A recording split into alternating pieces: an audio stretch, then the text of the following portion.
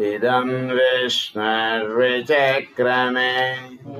त्रेधा निददे पदम् समोहार्हमस्य पां सुरे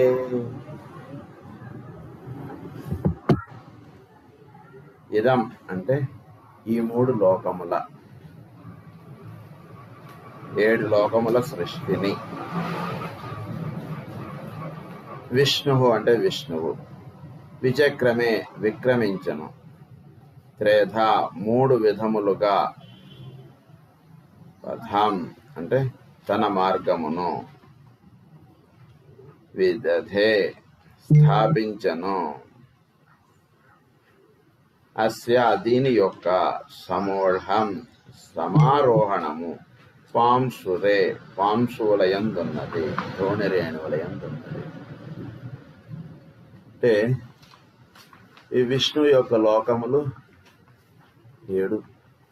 అంటే ఏడు లోకములుగా సృష్టి అనేటువంటిది ఏర్పడింది. దానిలో ఒక్కొక్క దాంట్లోనూ మూడు లోకములుగా ఇది విస్తారమే ఉంది. అంటే ఇది ఏడు లోకములుగా ఉన్నది మూడు లోకములుగా మనకి ఇదవుతోంది. విష్ణువే అంతర్యామిత్వము కలిగి ఆక్రమించిన మూడు అడుగులుగా మార్గమును స్థాపించను.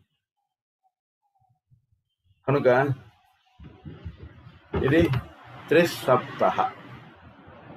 మూడుగా ఏర్పడింది ఇదంతా. అంటే ఈ ఏడుగా ఉన్నటువంటిది మూడుగా మనకి ఏర్పడుతుంది. అంటే ఒక్కొక్క లోకములోనూ మూడుగా అది ఉంటుంది. సో ప్రతి దాంట్లోనూ మూడు లోకములు ఉన్నాయి భూలోకంలో మూడు లోకములు ఉన్నాయి భూలోకంలో మూడు లోకములు ఉన్నాయి అలా ప్రతి లోకంలోనూ మూడు లోకములు ఉన్నాయి సబ్ పార్ట్స్ బ్రాడ్గా చెప్పేటప్పుడు మూడుగా చెప్తారు. మైన్యూట్గా చెప్పినప్పుడు ఏడుగా చెప్తారు సప్త సప్తర్ మరీచిమాన్ అంటారు మన వీటిని. అంటే ఏడు లోకములు ఒక్కొక్క దాంట్లో ఏడు ఉపలోకములుగా ఉన్నాయి. బ్రాడ్గా చెప్పినప్పుడు వీటిని మూడుగా చెప్తారు. కనుక ఈ ఏడుగా వచ్చినటువంటి అన్నీ కూడా మూడుగా వస్తున్నాయి ప్రతి లోకంలోనూ మూడుగా ఉన్నాయి ఇవన్నీ. కనుక ఈ మూడు అన్నటువంటిది ఏమిటంటే సమస్తమునకు ఎక్స్ప్రెసివ్గా త్రీగా ఉంటుంది అది ప్రతి లోకంలోనూ ఈ మూడుగా ఏర్పడినటువంటివే మనకి ద్రవ్యమయము ప్రాణమయము ప్రజ్ఞామయము. ఇలా మూడుగా ఏర్పడుతున్నాయి. ఈ మూడుగా ఏర్పడుతున్నటువంటి వాడు వాటిల్లో విష్ణువే. కనుక ఈ విష్ణువే మూడుగా తెలియబడుతున్నాడు. దానికి అనుగుణంగానే మనకు మూడు అడుగులుగా చెప్పారు కథ. బలి చక్రవర్తి కథ. మూడు అడుగులుగా అంటే ప్రతి దాంట్లోనూ ఈ మూడుగా వ్యక్తం అవుతుంటాడు. కాలం తీసుకుంటే కాలం మూడుగా వ్యక్తం అవుతుంటుంది. భూతము వర్తమానం భవిష్యత్తు అలాగే చోటు తీసుకుంటే చోటు మూడుగా వ్యక్తం అవుతుంది. భూర్ భువ ఇలా మూడుగా తెలియబడుతుంటుంది. సమస్తము కూడా. కనుక ఈ మూడుగా వ్యక్తం అవుతున్నది విష్ణువే. అది మనకి చెప్తున్నటువంటి విషయం. కనుక ఇది ఎక్కడ స్థాపింపబడింది? ఇది అంటే ధూళి రేణువుల్లో అన్నారు. అంటే ఈ మూడుగా అన్నటువంటిది ఎక్కడి నుంచి తెలుసుకోవాలి మనం అంటే పృథ్వీతత్వం నుండి మనకి తెలియబడుతుంటుంది అంటే పృథ్వీతత్వం అంటే ఫిజికల్ ప్లేన్ మ్యాటర్.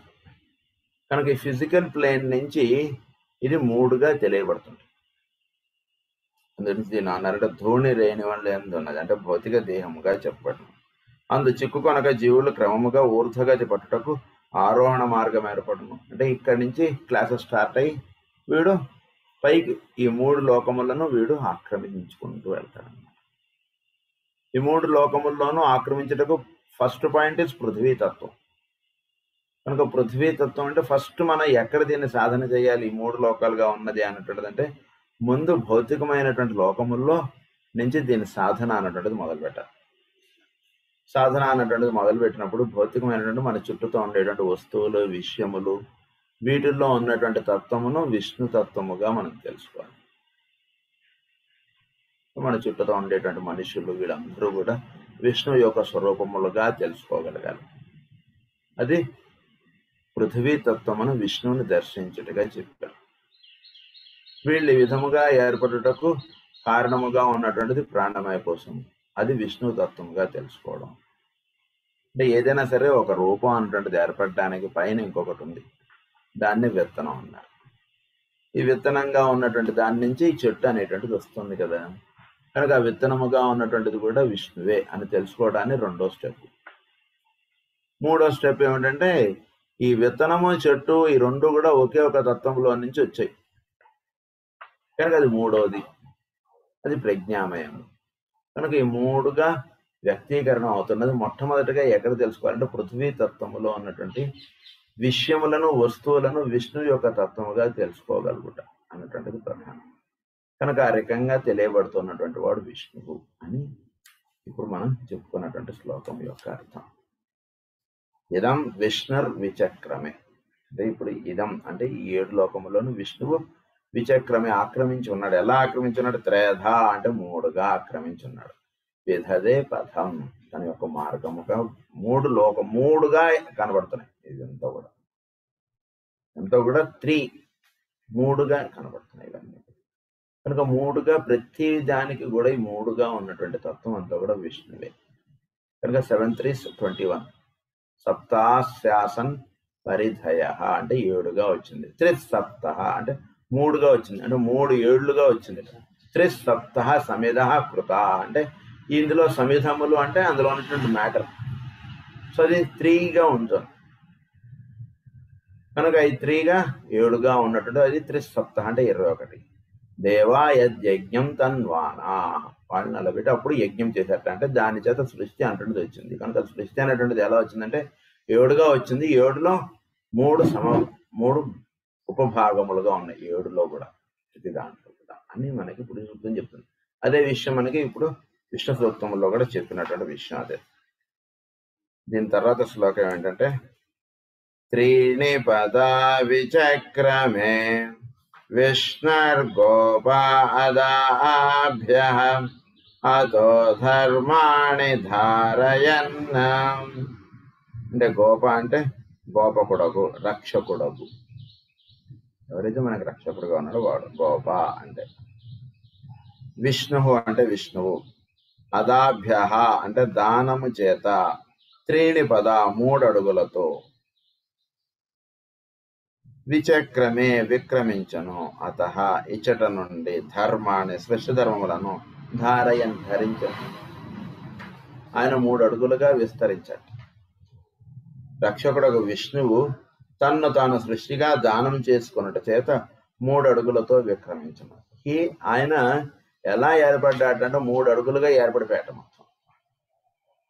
అంటే ఆయన ఎలా వచ్చేసాడంటే సృష్టి అంతా కూడా ఆయనగా అయి వచ్చేసాట కనుక సృష్టిలో ఉన్నటువంటి ధర్మములన్నీ కూడా ఆయన ధర్మములే. అంటే సృష్టిలో ఉన్నటువంటి ధర్మములు అంటే ప్రతి వస్తువుకి కొన్ని ధర్మములు ఏర్పరచారు సృష్టిలో ప్రతి వస్తువుకి కొన్ని ధర్మములు ఉన్నాయి. ఆ ధర్మములుగా తెలియబడుతున్నటువంటి వాడు విష్ణువు. ప్రతి వస్తువులోనూ ఇమిడి ఉన్నటువంటి ధర్మములుగా తెలియబడుతున్నటువంటి వాడు విష్ణువు. మనకు ఒక వస్తువు ఉంది. ప్రతి వస్తువు కూడా అది కొన్ని గుణగణాలు కలిగి ఉన్నాయి.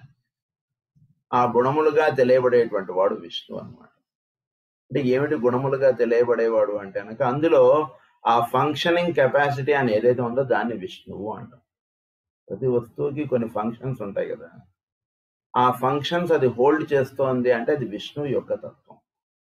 అది దేని చేత హోల్డ్ చేస్తోంది అంటే అందులో విష్ణువు తత్వం ఉంది కాబట్టి అది ఆ ఫంక్షన్స్ హోల్డ్ చేస్తుంది. కనుక దాన్ని ఏమన్నారంటే ధర్మము అన్నారు.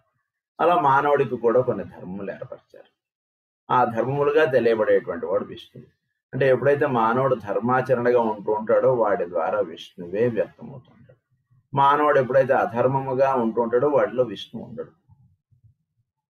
ఎప్పుడైతే వీడు ధర్మముగా ఉంటాడో ధర్మము చేత వీడు రక్షింపబడుతూ ఉంటాడు. అంటే ఏమిటి? వీడు ఎప్పుడైతే వీడు కర్తవ్యాచరణ వీడి చేస్తుంటాడో వాడి ద్వారా విష్ణువే వీడిని వీడిలో ఉంటూ ఉంటాడు కాబట్టి వీడి ద్వారా వాడి ద్వారా విష్ణువే వ్యక్తీకరణ అవుతూ ఉంటాడు కాబట్టి విష్ణువే వాడి ద్వారా పలుకుతూ ఇదిగా ఉంటూ ఉంటాడు కాబట్టి ధర్మమే వాడి స్వరూపం అవుతుంది. అదే విష్ణు స్వరూపం? కనుక విష్ణువుని ఎక్కడ మనం సృష్టిలో భౌతికంగా ఉన్నటువంటి సృష్టిలో ఎక్కడ దర్శించాలంటే ధర్మమూర్తులుగా ఎవరైతే ఉంటారో వారి ద్వారా విష్ణువే మనకు కనబడుతూ ఉండాలి. కనబడుతూ ఉంటాడు. కనుక విష్ణువుని మనం మనకు శంఖచక్రాదులు ధరించి ఉంటాడా అండి? ఎక్కడుంటాడు అంటానికి ఎక్కడుంటాడు అంటానికి శంఖచక్రాదులు ధరించి ఉండక్కర్లేదు. ఎవరెవరైతే ధర్మాచరణ చేస్తూ ఉంటారో వాళ్ళ ద్వారా విష్ణువు కనబడుతూ ఉంటాడు. కనుక ధర్మాచరణలో విష్ణు మనతో ఉంటాడు. అధర్మముగా ఉన్నప్పుడు విష్ణు మనతో ఉంటాడు. కనుక విష్ణు ఎప్పుడు మనకు తోడుగా ఉండాలి అంటే మనం ధర్మ ధర్మాచరణగా ఉండాలి అంటే ఏది ధర్మమో ఆ విధముగా మనం జీవిస్తూ ఉండాలి. పొద్దున్నే లేవడం అంటున్నది మన ధర్మం. లేదా ఇంకొకటి ఏదో మన ధర్మాలు ఉన్నాయి. ఇవన్నీ ధర్మములు చాలా ఉన్నాయి. అవన్నీ మనం తెలుసుకోవచ్చు. మనకే తెలియబడుతుంటాయి ధర్మములన్నీ. ఎక్కడి నుంచి తెలియబడుతుంటాయి అంటే విష్ణు మనలో ఎక్కడి నుంచి ఉన్నాడో అక్కడి నుంచి మనకు ధర్మం తెలియబడుతుంటుంది. ఎక్కడ నుంచి అంటే మన లోపల ఉన్న విష్ణు ఎక్కడున్నాడో తెలుసుకోండి. అక్కడి నుంచి మీకు ధర్మము అంటే ఏమిటో అక్కడి నుంచి మీకు తెలియజేస్తూ ఉంటాడు. నువ్వు ధర్మాచరణగా జీవించాలి అంటే ఏ పుస్తకం చదవాలండి అని అక్కర్లేదు ధర్మాచరణగా జీవించేటువంటి విషయములన్నీ కూడా మన లోపల నుంచి విష్ణు మనకి తెలియపరుస్తూ ఉంటాడు.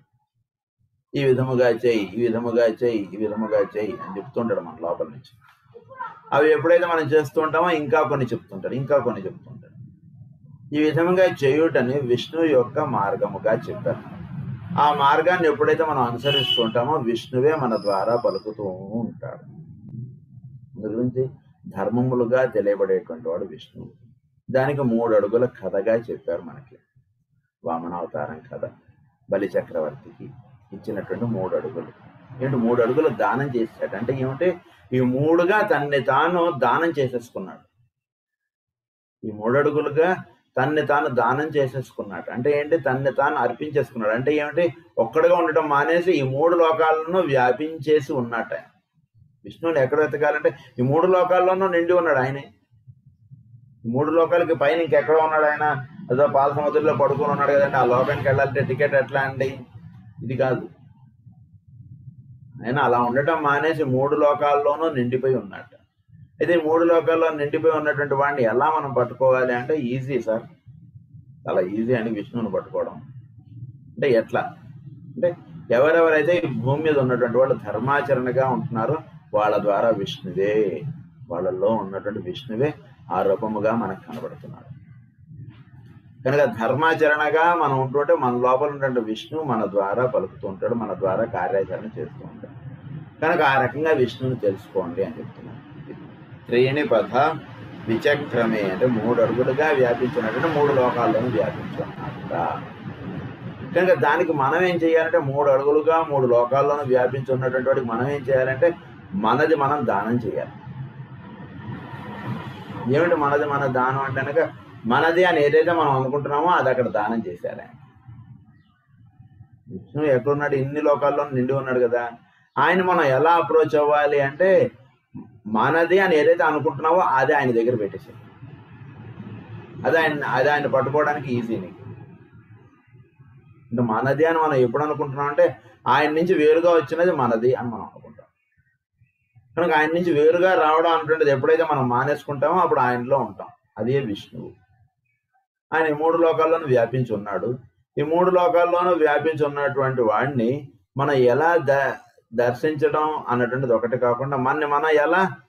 ఆయనకి మనం సమర్పణ చెందాలి అంటే కనుక మనం ఆయన నుంచి మనం వేరుగా వచ్చాం కదా. అంటే నేను వేరు అన్నటువంటి భావనగా మనం ఈ చెయ్యి నాది ఈ కాలు నాది ఈ దేహము నాది ఈ నేను అన్నటువంటి భావన మనలో ఏదైతే ఉందో అది ఆయనకి సమర్పించేసేయాలి. అంటే సమర్పణ చెందుట అంటే ఏమిటి? అది ఆయన దగ్గర పెట్టేయడం. అంటే ఏమిటి? ఆ భావనగా మనం ఉండకుండా ఉండడం. అప్పుడు ఉండేది విష్ణువే ఇంకా. కనుక ఆ రకంగా విష్ణువు అంతటా వ్యాపించి ఉన్నటువంటి వాడు. అది త్రీనిపథ విచక్రమే. విష్ణుర్ గోప అదాభ్య అంటే అది. అదాభ్య అంటే ఇదంతా కూడా దానముల చేత అని. అతో ధర్మాన్ని ధారయన్ అది. ఆ ధర్మములను అత అంటే ఇచ్చటి నుండి ధర్మాన్ని అంటే సృష్టి ధర్మములను ధారయన్ ధరించును. ఆయన ఈ సృష్టి ధర్మములన్నీ మూడు లోకాల్లోనూ ఉన్నటువంటి ధర్మములుగా ఆయన తెలియబడి ఈ శ్లోకం యొక్క స్వస్తి ప్రజాభ్య పరిపాలయంతాం. న్యాయేన మార్గేణ మహిం మహేశాః గోబ్రాహ్మణేభ్యः శుభమస్తు నిత్యం. लोका समस्ता सुखिनो भवन्तु। लोका समस्ता सुखिनो भवन्तु। लोका समस्ता सुखिनो भवन्तु। ॐ शान्ति शान्ति, शान्तिः।